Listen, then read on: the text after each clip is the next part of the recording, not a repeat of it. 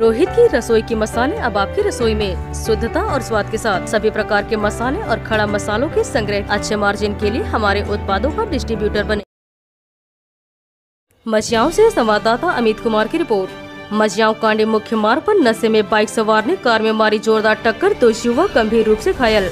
मझियाओं बाज़ार स्थित राजकीय कन्या मध्य विद्यालय से महज कुछ दूरी मुख्य पथ पर मोटरसाइकिल सवार युवक ने अपने साइड रुकती मारुति कार में पीछे से पूरी रफ्तार से जोरदार टक्कर मारी, जिससे मोटरसाइकिल सवार दोनों युवक घायल हो गए।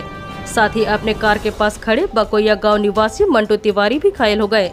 स्थानीय लोगों ने घायलों को रेफरल अस्पताल एंबुलेंस के द्वारा लाया गया, जहाँ प्राथमिक उपचार के बाद दोनों मोटरसाइकिल सवार को गढ़वा सदर अस्पताल में रेफर कर दिया गया। जबकि मंटो तिवारी को प्राथमिक उपचार के बाद छुट्टी दे दी गई।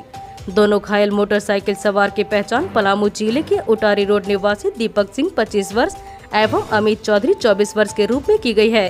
घटना के संबंध में प्रत्यक्षदर्शियों ने बताया कि मंटो तिवारी अपनी कार खड़ी कर किसी व्यक्ति को नीचे उतार रहे थे। इसी बीच नशे में धुत मोटरसाइकिल सवार ने पीछे से जोरदार टक्कर मारी।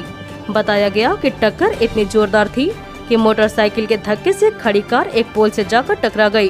तत्पश्चात स्थानीय थाना के थाना प्रभारी कमलेश कुमार महतो पूरे दल बल के साथ पहुंचकर भीड़ को काबू किया और दोनों वाहन को अपने कब्जे में लिया। वैसे ही आके इन लोग ज़ोर रोड हम देख रहे हैं, रोड से नीचे गाड़ी लगा हुआ था।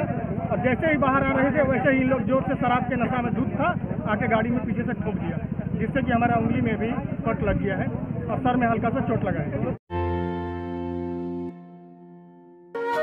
खबरें और महत्वपूर्ण जानकारी के लिए कड़वा दृष्टि यूट्यूब चैनल को सब्सक्राइब करें।